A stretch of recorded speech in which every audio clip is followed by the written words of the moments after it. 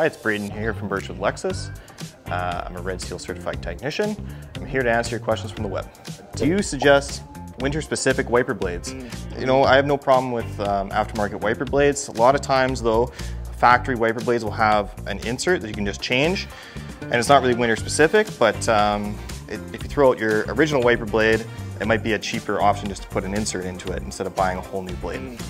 Are there any modifications that can impact the value of my vehicle? Uh, yeah, uh, anytime that you're adding aftermarket parts or um, let's say wheels or spoiler or you know a turbocharger, you got to think of the resale value of the car. What is that doing to the resale value? Does it bring the resale value up or bring the resale value down? It kind of all depends. If you make your car all funky and nobody wants to buy it, well, it's probably going to hurt your resale value. How can I protect my vehicle from road salt during the winter?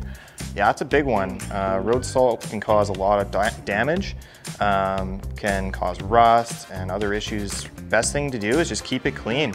Uh, take it to the car wash, blast up underneath it. Don't be afraid to get the, the wand right into the wheel wells. Give it a blast, it's not gonna hurt anything.